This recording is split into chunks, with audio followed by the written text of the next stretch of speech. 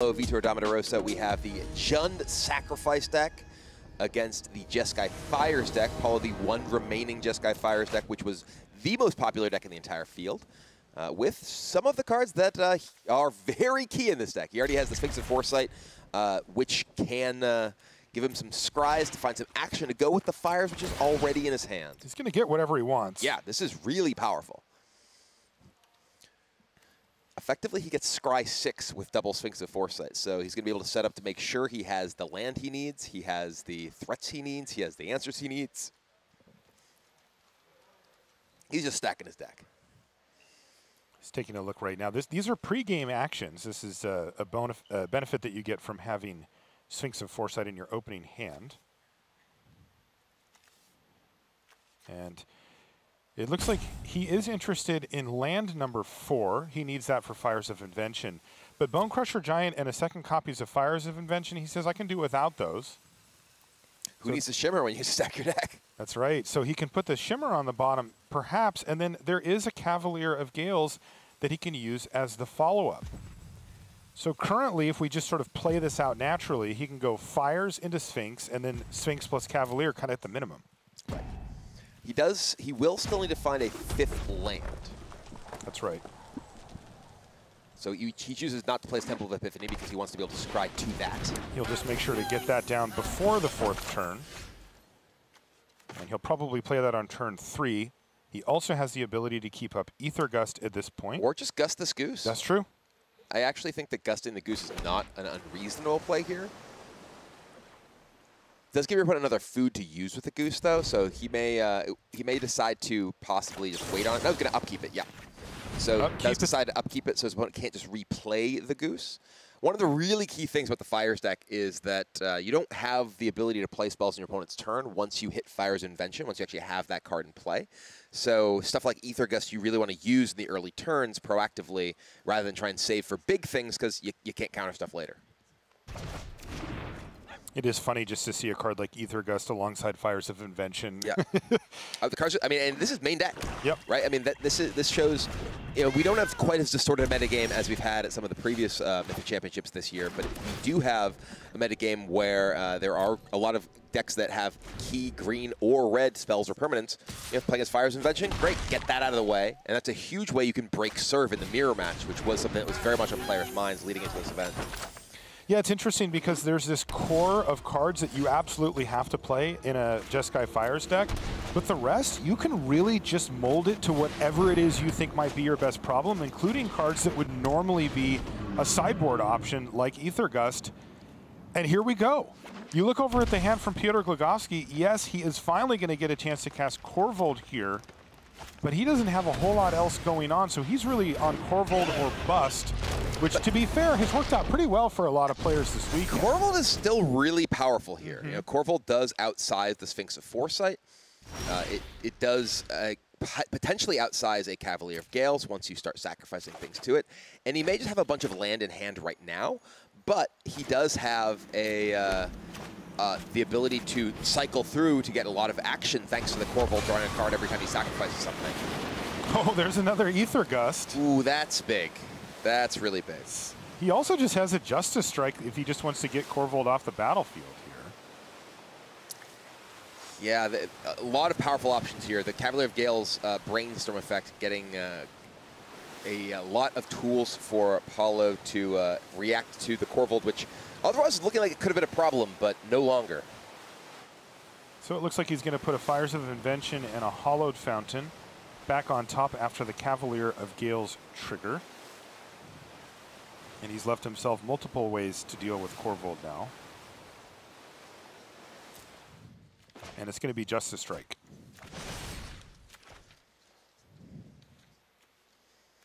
A singleton copy of Justice Strike and two Aether Gusts in Paulo's main deck. So this is actually all of his Ooh.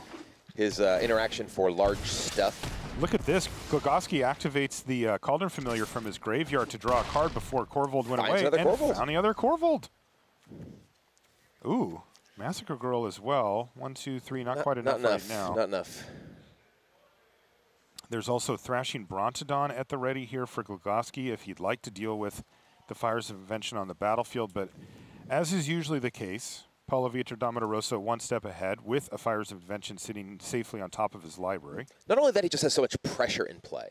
The Cavalier of Gales and the Sphinx of Foresight make spending your turn removing Fires of Invention not really do enough. He's just going to get attacked for nine if he uh, decides to try and remove Fires. And if he doesn't remove Fires, well, Paulo just gets to play a bunch of stuff for free.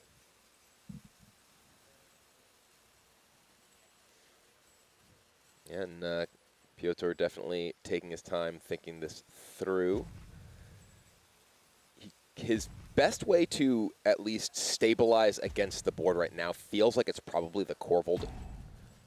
Since he can sacrifice his Cauldron Familiar and at least have a creature that can block the Sphinx and possibly buy him a little bit of time. But again, you know that, that Fire's Invention, pretty terrifying if it does stay in play. But the, the, the crucial thing is, look at, look at Paulo's board and just think about the cards in his deck. The only thing he couldn't cast is a Cavalier of Flame.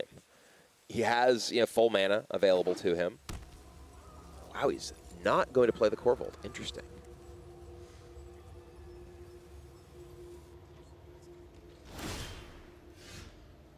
He didn't play anything. He just did nothing. Is he just going to make a food with the goose? I wonder what his plan is here. Boy, that's a rough spot there for Glogowski if, if yeah, his entire turn is make a food. Is he planning on block, make a food? Tough position here. And Paulo Vitor is lining up an Aether Gust, it looks like. He's taking a quick look at the deck list, it looks like. I mean, maybe he's looking to Massacre Girl, but he, if he Massacre Girls, he needs something else in play too. Yeah, he. Does. Oh no no no! The food, the food lets a Massacre Girl this board. The food lets a Massacre Girl the board with the uh, oh, with sure. the cat. That's what it is.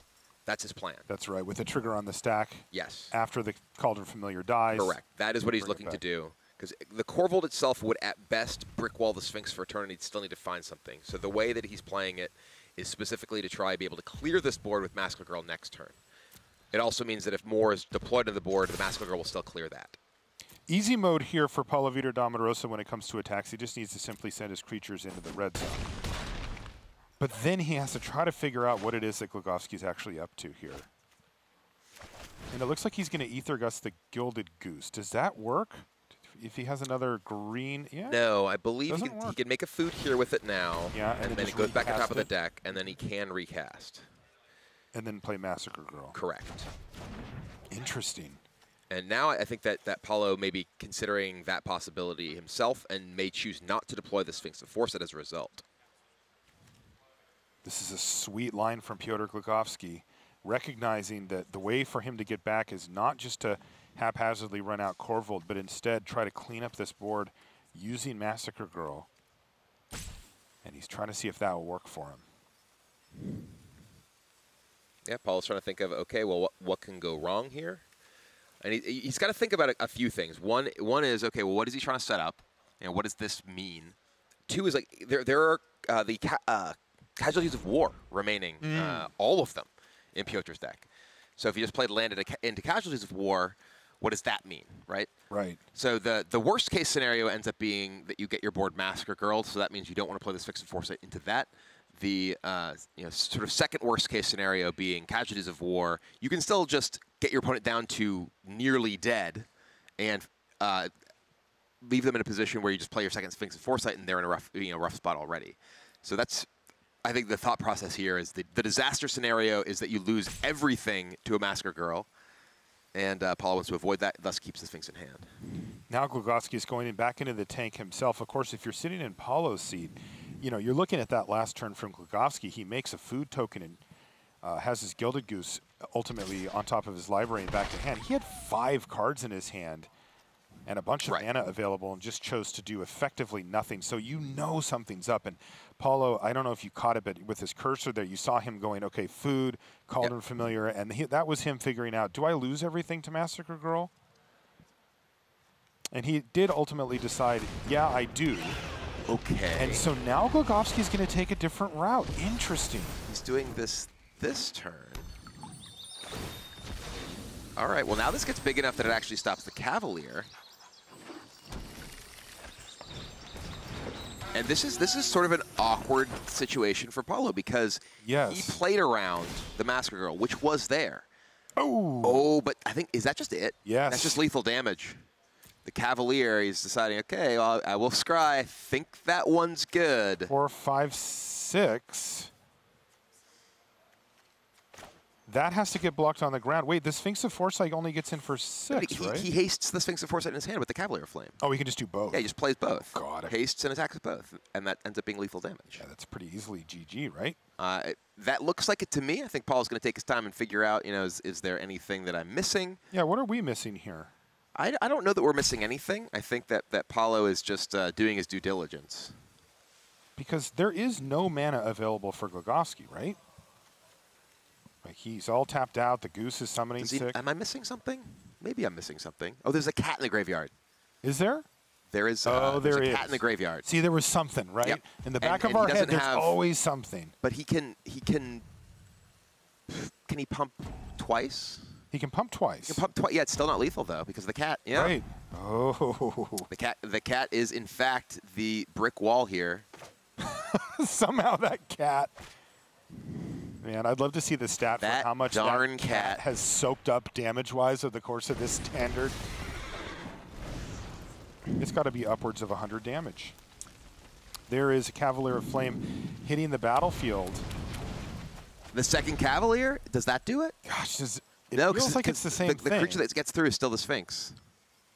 Wow, Piotr Glogowski is hanging on by an absolute thread here. Now, the one thing I do want to zoom out on here, though, Kibler, is if Paulo does make this big play, Pyotr's still in huge trouble, right? He's chumping with two creatures. He's going to have to block well, something there's, with there's. Korvold in play.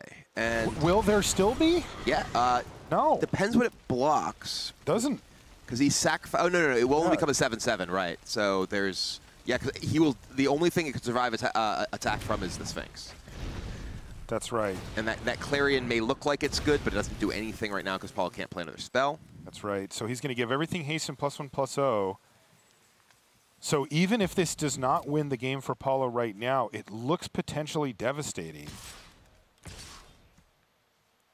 I wonder if he actually just doesn't attack. If he, if he attacks with the Sphinx, I think he's like doing the math of what happens with everything. Because Mhm. he attacked with the Sphinx, and if the Sphinx is blocked by Korvold, yeah, because the Sphinx is blocked by Korvold, because Kanister goes to eight with the Oh. Cauldron Familiar. So can he die on the attack back? I think is actually part of what he's thinking. Right, and you and I have covered m- many matches here with Korvold, and the answer is often yes, you absolutely can. It's hard to tell from this position. We need to know what Glogowski draws.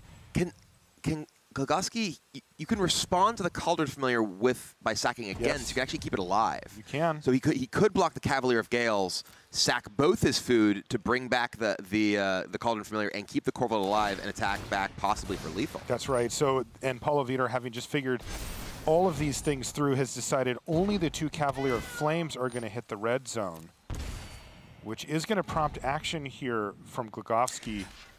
He does need to block both. And and this is the sort of game that really highlights a how complicated the scenarios that come up with this Jund Sacrifice deck are, and b how incredible a player Paulo is that he is working through all of these from the other side, right? Like he Right. doesn't necessarily know. You know, uh, uh, everything that's in Kanister's hand, but he identified the possibility of Massacre Girl. He's identified, okay, well, these are all the, the things that can go wrong. Uh, if he had attacked with all of his creatures, then the uh, the, the sacrifice of the food would have kept uh, Kanister alive if he could if you could have just blocked everything, and the the second pump wasn't uh, available to uh, to guarantee kill the Korvold because he could do the uh, double sack to bring the cat back if he committed everything. Super, super close there. Paulo Vitor almost able to take the victory there.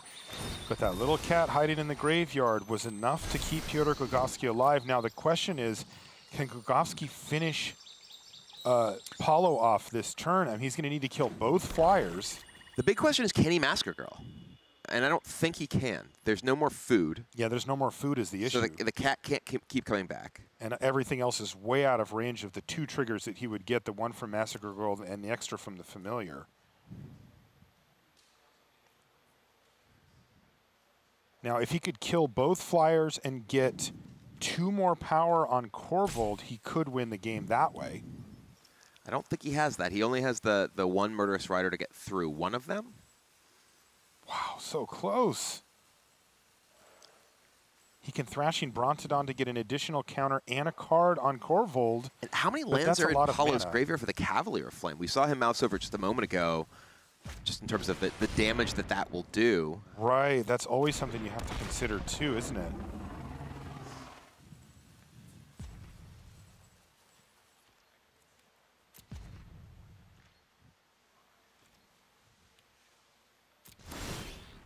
No, he's passed the turn back to Paulo Vitor, who finds Sacred Foundry on top with his Sphinx of Foresight trigger on his upkeep. Now, Deafening Clarion also interesting here. If he can't win the game this turn, the lifelink that he could gain from it. He's leaving it on top. Now, he wants another red source for three activations.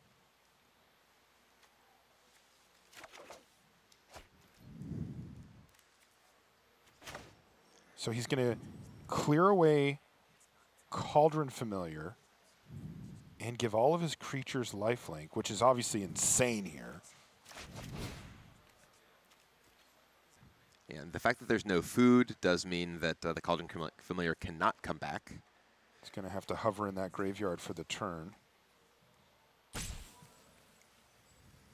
And then Paulo can play Untapped Sacred Foundry, and he'll have three activations of Cavalier of Flame. This is going to be a huge damage hit. Is it just lethal? I, I think that there's no real way yeah, out of this at this point. Because there is Murderous Rider in hand for Glogowski. But Murderous Rider means that he, he does take two damage. He loses the two life from casting Swift End. Yes. And then it, the, the Cavalier of Flames are yes. the, the, biggest creatures. If they're blocked, they die and then get the triggers for the damage uh, from the lands in the graveyard. Funny, the damage on the Cavalier of Flame that gets blocked by Brontodon is actually beneficial to Paulo somehow as he wouldn't mind that thing dying at this point. Yeah, and there's the concession from Piotr. was an insane game one going to Paulo Vitor Rosa. Boy, oh boy, this is some true top eight magic here as uh, that was a great game. That and, was a and, really intense, really intricate game. And I feel like the game was really well played from both sides. I, I think that you know Piotr recognized, okay, I can set up this mas Massacre Girl Paulo realized that was happening and he held back his Sphinx. Then Piotr said, okay, well, if you're not going to commit anything else, I go with the, uh, the Korvold line. And then Paulo's still able to maneuver it into a win. Boy, I tell you what, if, if you want to get better, go back and check out the VOD of that one and pause every one of Paulo's decisions before he makes it. Ask yourself what you would do and then see what he did in, and you can retroactively look back and see why he did. He is so good. Yeah. Just being able to work through all of those things and come up with the correct answer at the end of it. And he started this game with the incredibly important line of mute you. Playing against Kanister, that, that has to be, you know, that has to be uh, plan uh, A. so we are two for two on that, by the oh, way, yeah. today. Yeah. Oh, yeah.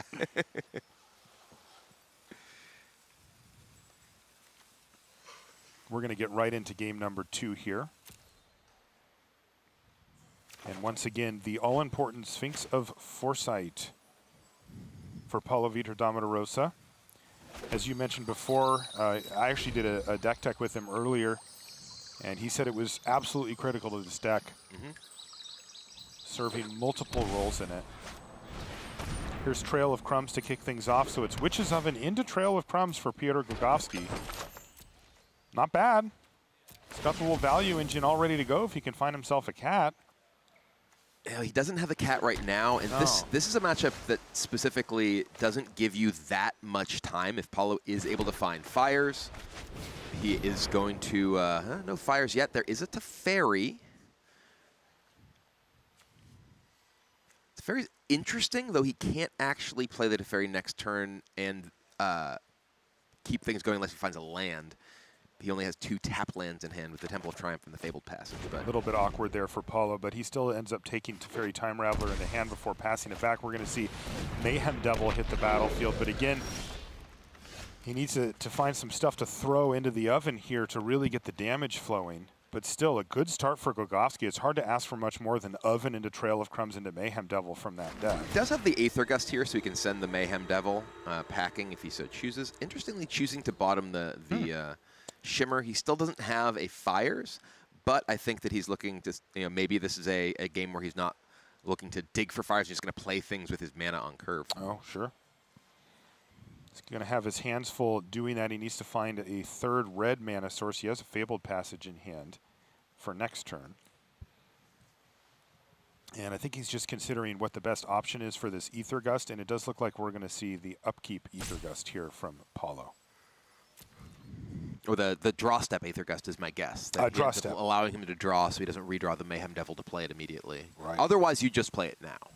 Because other, you know, then you give your opponent access to all their mana. The only reason to wait until your opponent's turn is to force them to draw a different card, then put it on top. Mm -hmm.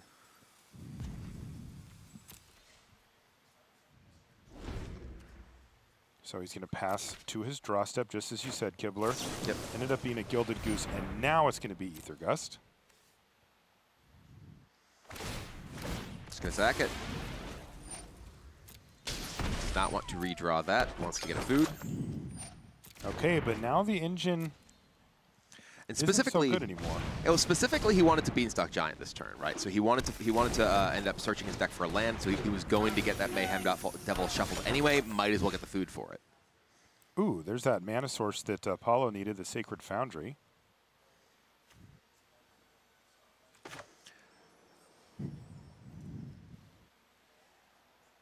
A lot of food over there for uh, for Kanister. Oh yeah. Once he does find tools to allow him to uh, sack it for, for free, I mean, this, this goose is actually kind of an issue, right? Because the goose plus trail means that every turn, Canis is just, just sacrificing one of these food to, to go get a card. It means that every single one of these food is a legitimate resource, and uh, I think that we may see Teferi possibly just bounce it, even though it'll make another food, just to slow down the resource uh, chain, and that's exactly what happens. I have a plan. Paulo Vitor buying himself as much time as possible, and he's done a pretty good job of it. Now he is set to just start casting these cards from his hand. Next turn, he can deploy Cavalier of Flame. Good old-fashioned way. Just cast it. Yep, the trail is leading Kanister to some lands. Goose comes back. And, and this, you know, this is a situation that does currently favor Kanister because he is actually getting uh, incremental advantages each turn here. Yikes. Cavalier of Gale's not close to being cast no, currently. I am not making yeah, and this is actually an awkward spot with this Fabled Passage because there's double red, single blue. If, if Paulo wants to be able to hard cast things, he needs triple of each. Yeah. So right now he could try and play Cavalier Flame and go searching with the uh, the discard ability, getting rid of some stuff, which is what I would expect is the most likely play. Um, but he does still sort of strand these other cards in his hand for the time being can go discard them now. So he's got to figure out, okay, well, what of my hand here uh, is expendable? I would expect, yeah, the, the Sphinx and the Gust, maybe the Justice Strike too, though there is that, that Beanstalk Giant off an adventure that could be scary if it's uh, able to come down. Replaces Aether Gust with Aether Gust, but also finds a Shimmer of Possibility. And he does have a Cavalier of Flame on the battlefield, but this has been a much slower, less explosive situation here. And Piotr's really has been able to generate his, or set up his value engine now. Right. He also has the answer in hand, sort of, uh, for the Cavalier. I guess he's only got the one black mana source, so he'd actually have to use Gilded Goose, if I'm seeing that correctly. Looks he already produced a black with uh, the Gilded Goose and then used the Forest for the Trail of Crumbs, so... Yeah, I just mean he, he's going to have to actually, you know, use the goose to produce double black here for his uh, Murderous Rider. But I guess it all works out when you've got trail of crumbs anyway. He's got a lot of uh, lot of tools here, deciding exactly how to sequence everything. He can just play his Beanstalk number two and then play the Murderous Rider on the back end. That's right. He's going to go get that second black mana source untapped here. He also has Fabled Passage now.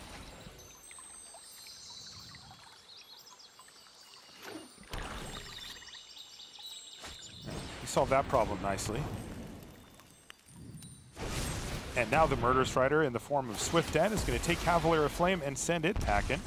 Does take two from the trigger, I believe. Yep. Another Teferi. Hmm. Not super useful here. So he's just going to go dig in with another Cavalier of Flame, it looks like. He's got a lot of blue cards in his hand here, and he's going to get rid of almost all of them. Basically just looking for... Still no fires. Fires, yeah. Temple, though, might find him it. He's forced to play a, oh. a fair game here, and uh, he still doesn't have triple blue, so he still cannot play Cavalier of Gales. Oh, ca casualties of war. Hello. And casualties of war specifically killing uh, Temple a, a blue source yeah. here, right, is, is a really big deal because it does you know, further strand not only the Cavalier of Gales, but even Sphinx of Foresight.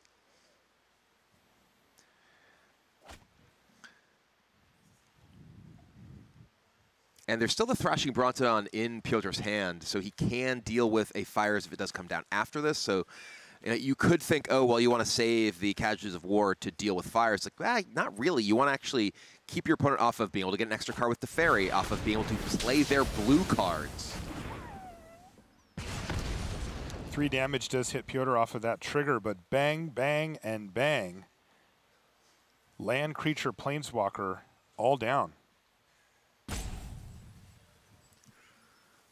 Yeah, that Cavalier of Gales does not look like it's going to get hard cast this game, at least not anytime soon. Brontodon comes down, and oh. there is at least a blue source, but that means it's just Sphinx of Foresight. No Cavalier coming down, so no more uh, deck manipulation available. Interestingly, you know, uh, Paulo has kept this Justice Strike this whole time. Yep. And just worried about Korvold. Well, the, the Beanstalk Giants too, that are that are mm. currently you know off uh, gallivanting around the land. Mm -hmm. Wow, look at this attack. Glogowski getting chippy here with the Thrashing Brontodon. And Paulo's having none of it. He just blocks.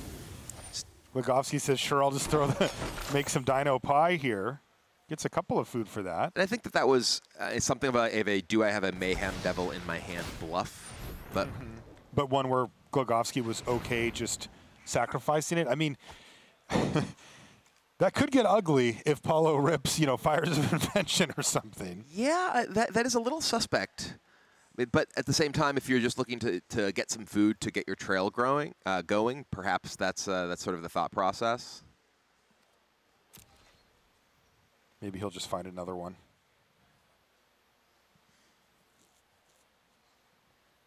Yeah, big giant coming down, but there is Justice Strike waiting to kill it. This is going to be an 8-8 Beanstalk Giant, although it'll be a 9-9 for a short period of time, and then it'll be probably just dead.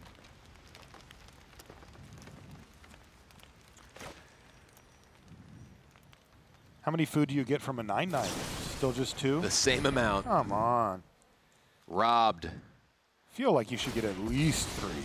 Well, if you play Giant Opportunity, you do get three.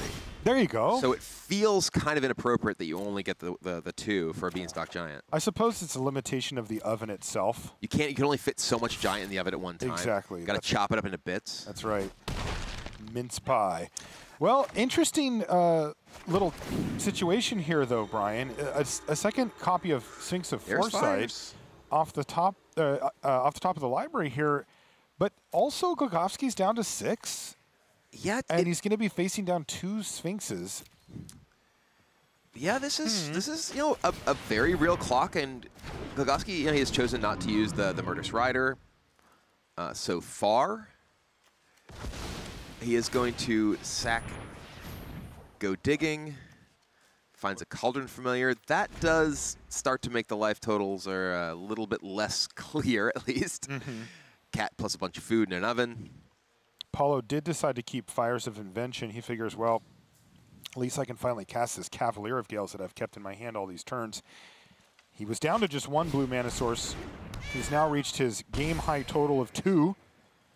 But Cavalier has been stuck in his hand otherwise. Meanwhile, Glogowski is going to kind of get the engine rolling here with the Cauldron Familiar, Witch's Oven, the Trail of Crumbs, and of course, this is the reason why you play this deck.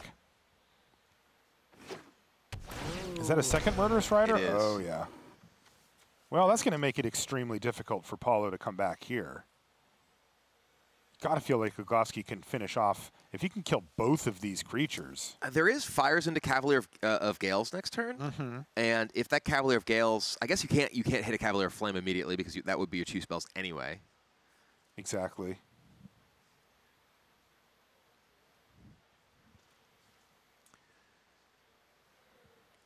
Yeah, definitely a lot of options with this Jund Sacrifice deck that Pyotr is deciding between.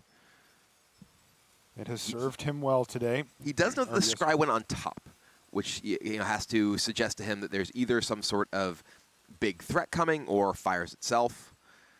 And you know, sort of trying to prepare, okay, well, what's the best way for me to uh, navigate that situation, assuming that uh, there's some power card on top. Murderous Rider number one is going to send this Sphinx of Foresight packing. And is he going to fire off the other one? Oh, yeah. Down to four life goes Glogowski. But he's got a Gilded Goose to follow up as well. So precarious life total for the moment. Well, uh, we're going to see fires into Cavalier. I mean, the strongest thing for Paulo to find is probably Kenrith at this point, thanks yes. to the trample that it, it, also gives with its haste ability. He does get the draw three, Yikes. finds, oof, that's... That is brutal. That is not good. Yeah, he's going to get the castle. So he's going to have to set a stop here on his upkeep so that he can scry those two lands away. Because he doesn't have quite enough mana to activate Castle Vantress this turn. You know, we call that getting brainstorm locked, yeah. right? When you see the three lands, but you don't have any way to shuffle your library. Well, he's going to have to settle for a Oh, there's Big Daddy. Uh-oh, Korvold Fae-Cursed King in hand now for Piotr Glogowski. And that's the full engine. I go, although I do suppose he's short the Mayhem Devil just for everything. Shucks. he'll he'll uh, somehow find a way. And uh, yeah, it does seem like he is cruising to the victory here with the double Witch's Oven, Trail of Crumbs, Korvold, and yes, Cauldron Familiar to go with his triple Gilded Goose. And uh, the value engine is strong with this one no way out.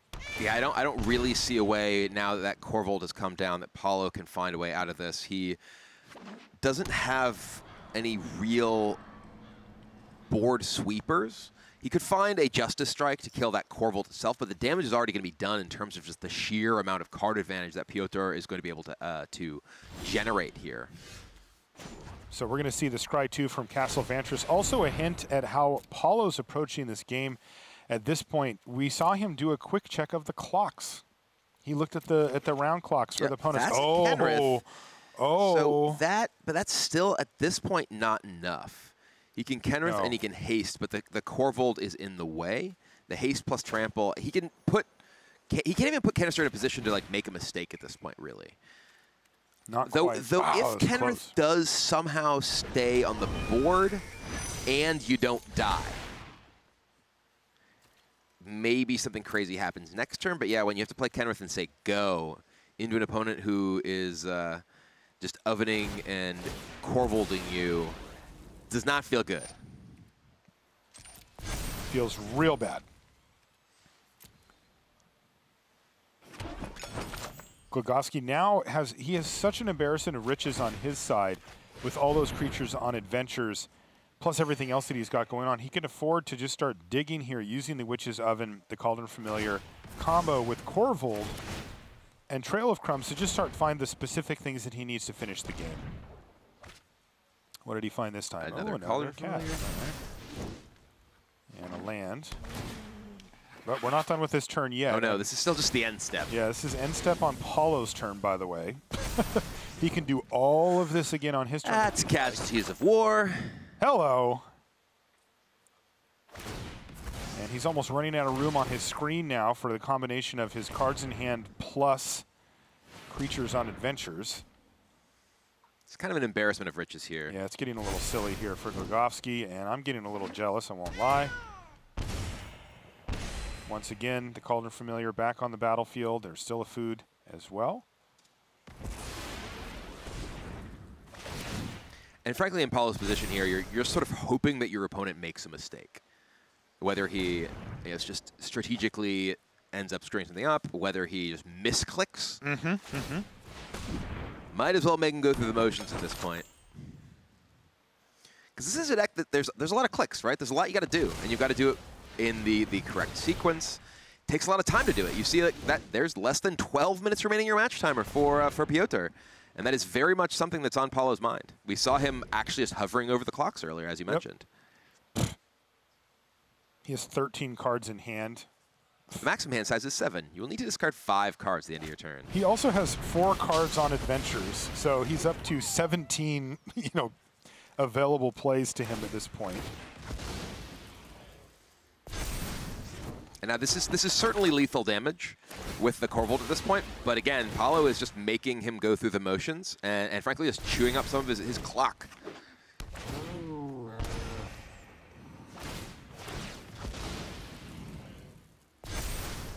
There's lucky number 15 there for Korvold. With no mana available for Paulo Vitor either. There's a Cavalier of the Earth trigger finally resolving. and here comes Korvold. And there we go. One more permanent to sacrifice. And game number two goes to Piotr Glogowski. So, super interesting match thus far. And we've got Paulo Vitor and Piotr both at a game apiece. And we're going to get a game three decider in our upper semifinal between these two players. Ooh, this is an ugly hand. That ain't it. Boy. Geez, no Scrylands even? Like, there's just not a lot there, is there? Wouldn't be surprised to see Paulo Vitor mulligan this hand. Which he does. Definitely a hand you have to keep at this point. Definitely. It's not something you're super thrilled about since you only have two land, but one of them is a Temple of Triumph, so you can dig a little bit further. I think he's deciding between Aether Gust and Bonecrusher here. He, ultimately, he says, yeah, Aether Gust can go away. And now we're going to see Temple of Triumph looking for lands. Not good enough. Too slow. He needs lands at this point. He can't play Shimmer of Possibility on turn three. And he can.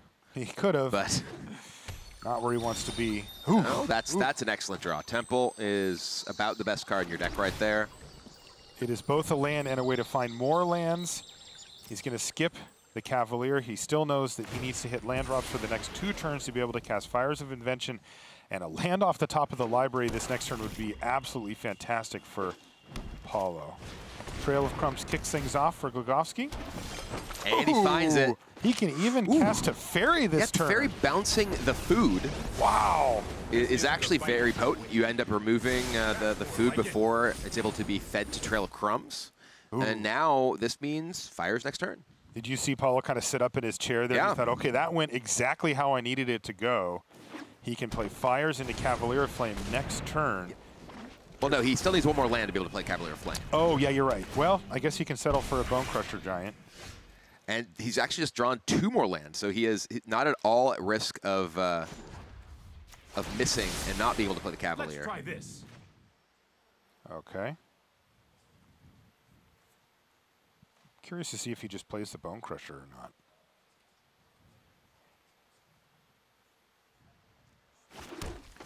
There's fires. Yeah. Oh. Yeah. There we go. He's just going to play Bonecrusher Giant. Can apply a little bit of pressure and can also protect Teferi. You see Kanister rub his hands together. What is he uh, going cooking over there? You see two copies of Witch's Oven as well as now a Mayhem Devil on the battlefield as well. So Mayhem Dev Devil plus the Oven here, he can sack the Cauldron Familiar to get a food, then sack the food to bring back a Cauldron Familiar, both times pinging the Teferi if he wants. But it looks like he's going to save it. Okay. So Teferi gets plus once again. Oh, Shimmer of Possibility was the draw here, but Paulo has Cavalier of Flame this right. turn, and uh, he's going to be looking to dig for any other Cavalier or Kenrith or something like that. So let's see what he can find. Send uh, both of these pack in, and does he find another? Finds yeah, he did. So that's, bad. that's that's good because uh, with the Cavalier Flame, you can give it uh, haste and get in for a big chunk of damage right now. He really did need to find some stuff this turn. And the Bonecrusher Giant's still there as well, and it's yeah. not small. There's another activation in the belt here for Paulo Vitor as well. So he's actually going to get in for a 12 damage here? Yeah, this is really wow, what this out. Fires deck is all about. It's about getting your Cavalier of Flame and some other threat alongside your Fires of Invention and just pushing the pressure so quickly. A lot of these Fires of Invention decks are, you know, they, they have their, their card advantage tools and their removal. This is not that. This is Fires of Invention into kill you as fast as possible. Yeah, it plays out like a combo deck. It's just I'm trying to assemble these things, and then you die. And uh, Kanister's not quite dead, but he is certainly not in a comfortable position right now. Now he's looking to take 12 damage from Bonecrusher and Sphinx of Foresight. Bang, bang, down to seven goes Piotr Glogowski, and he needs to come up with some serious stuff next turn or he's done. He can possibly find a uh, a Casualties of War, probably his best draw at this point. But you can't find that off Trail of Crumbs. What's his mana situation? He's only got five lands? Yeah, he'd, he'd actually need to find a land into uh, the casualties. And frankly, casualties alone might not be enough. Yeah. No more games. He is facing immense pressure here from the Hall of Famer Paulo Vitor Damo Da Rosa. Called him familiar back on the battlefield. Korvold, are you too late? Ooh. Probably not. This is a really interesting position because Korvold, huh he need to if he Korvolds and finds a land, so he can play the second oven and has oven like double oven cauldron familiar, plus the Korvold. Then you got to feel like if he survives the turn, he could untap and have 100 cards in his hand. Right. And find a bunch of answers.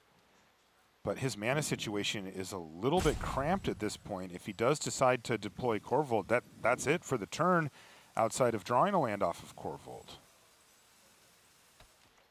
Yikes. Super close position here.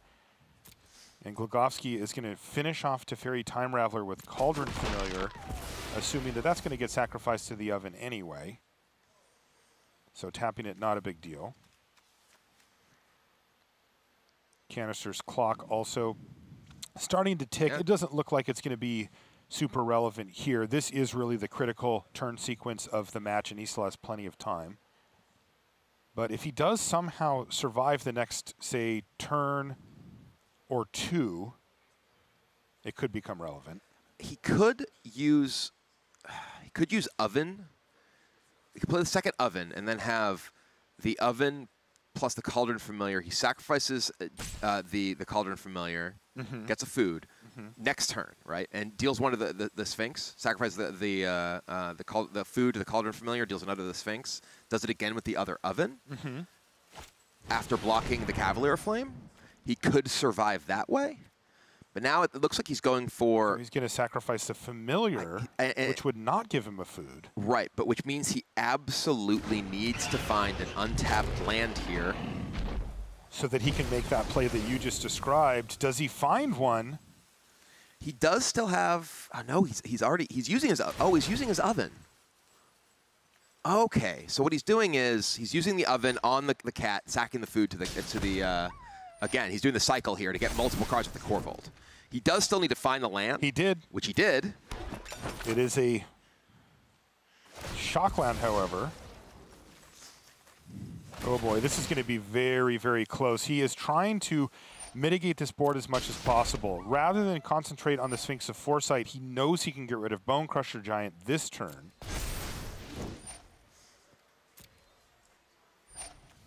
So that's what he's doing. He's also buffering his life total at least a bit. Right. With each of these Cauldron Familiar pings. One more sacrifice. sacrifice uh, the trail. Trail of Crumbs goes away. He figures, I don't have time to mess around with that. So Bonecrusher Giant dies to Mayhem Devil triggers ultimately. And if you look at the board, okay, we've got Korvold Fae-Cursed King, Oh, and he even found a Fabled Passage. Wow, he even found a way to get a, an emote in there as well. Fabled Passage. Well, this is this is this here? is well. Fabled Passage triggers the Mayhem Devil. He right. doesn't take land, putting the land into play. He actually can, uh, because he gets the Witch's Oven, the, fa the Fabled Passage, he can actually just send the, the damage to face here. It's not quite enough to kill the Sphinx of Foresight. Right. But he can actually just, he gets another card from the Korvold, this is just an incredibly powerful situation now for Piotr. He was in an incredibly tough situation, but by navigating the various triggers with his Korvold in the stack, he has found himself in a very strong position all of a sudden. Man, Korvold Fae-Cursed King just does it all. I mean, we, remember when we were like saying he really, really needed to find a land off the top of the library? He found three. Yeah. plus he, another Korvold. It's like the fact that he need, he needed to find a land, yes, but he had so many looks at it because of all these things he's able to do to get those draws with the Korvold still on the stack. A potentially huge draw step here for Paulo Vitor, and he misses.